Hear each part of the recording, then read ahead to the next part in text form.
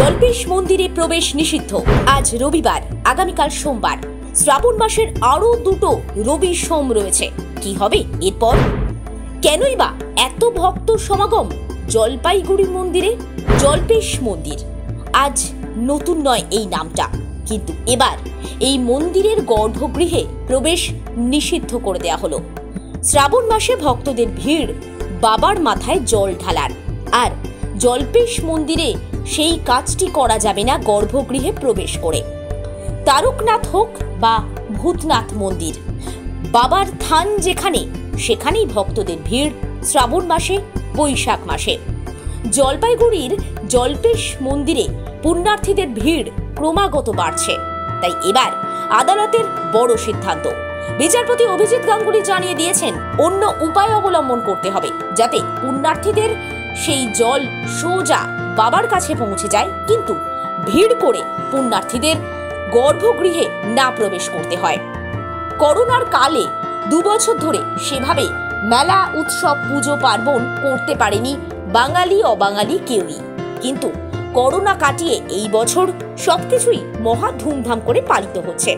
তাহলে উৎসাহে ভাটা কেন পড়বে? রবিবার এবং সোমবার এছাড়াও সামনের সপ্তাহ রয়েছে। শ্রাবণ মাসের পাঁচটা সোমবার শিবের মাথায় জল ঢালার সুযোগ পাচ্ছেন পুণ্যার্থীরা। সুযোগ কি তারা ছাড়বেন?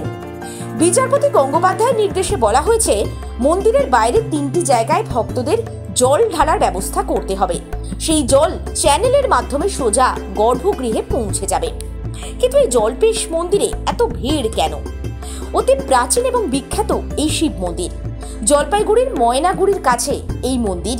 শ্রাবণ মাসে প্রচুর ভক্ত সমাগম। অনেকটা তারকেশ্বরের মন্দির চত্বরে যেরকম শ্রাবণী মেলা বসে, এখানেও তেমনটাই হয়। জল্পেশ মন্দিরকে অত্যন্ত পবিত্র বলে গণ্য করা হয়। এই মন্দির নিয়ে ভক্তদের মধ্যে বিশ্বাস এবং তাদের নিজস্ব কিছু ভাবনা রয়েছে।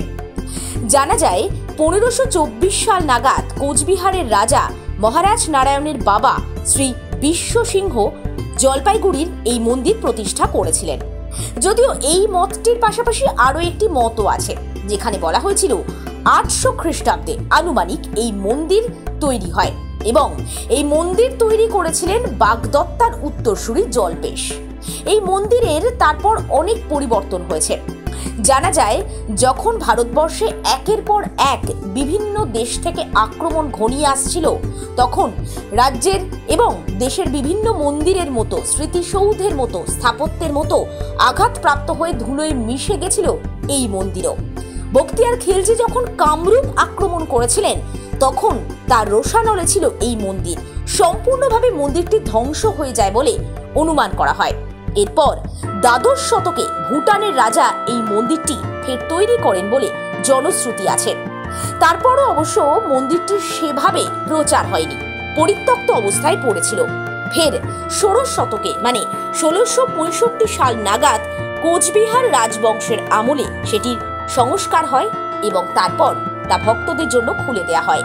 সেই থেকে আজও জলপেশ মন্দিরে ভক্তদের নাগাড়ে ভিড় শ্রাবণ মাস জুড়ে। Bureau report Sky News India.